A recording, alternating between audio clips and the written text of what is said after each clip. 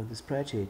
First, all data have been removed. Now, let's learn how to use this application. First, let's click on this icon to open the graphical user interface.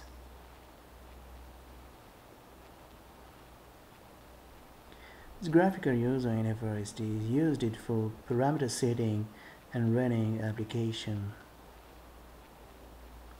Now let's take a look at the input data.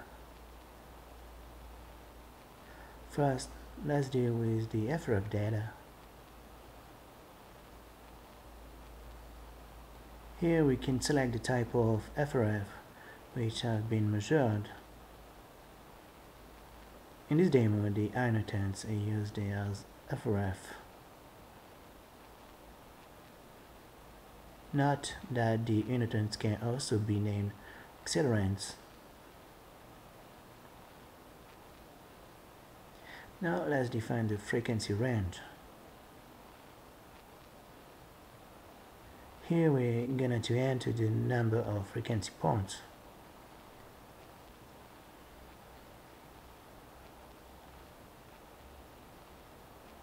Now we're gonna to copy our FRF data in the two first column of this sheet. The first column is the frequency in Hertz. The second column is the magnitude of the inertance in the appropriate units. The FRF curve is plotted on the graphic. Depending on your own data, you can scale the graphic.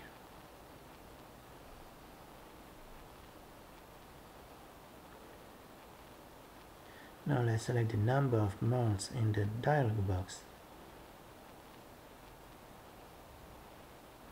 We're going to move the dialog box to get a better view. Now we're gonna to enter the initial modal parameters. These parameters can be obtained using the mpsdf.xls. This application estimates the modal parameter using the graphical peak peak method. Wait gonna to copy our modal parameters in these 15 lines. We're gonna to enter the residual mass and the residual stiffness as well.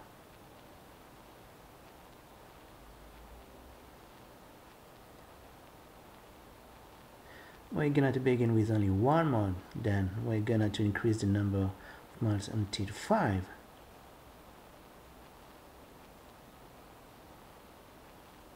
One word has been selected. Now we run the application by clicking on the run button.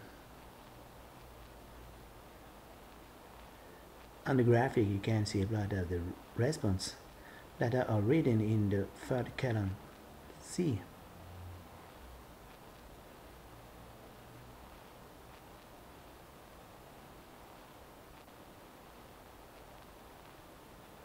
Now we're gonna to use the curve fitting option to fit residue.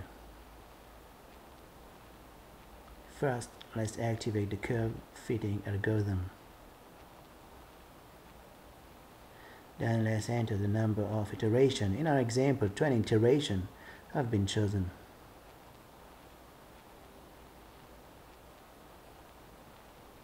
Then we will run again the application.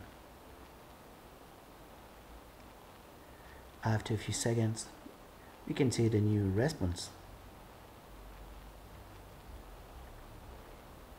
Now we're gonna to increase the number of modes. Two modes, three modes, four modes, and fifth modes.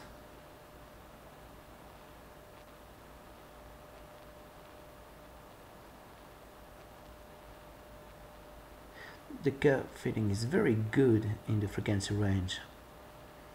Consider. Now we could use this model as a useful tool for proposing design modification and improving dynamic response on the tested part. We close the dialog box to end the application. This is the end of this tutorial. You can experiment with your own data.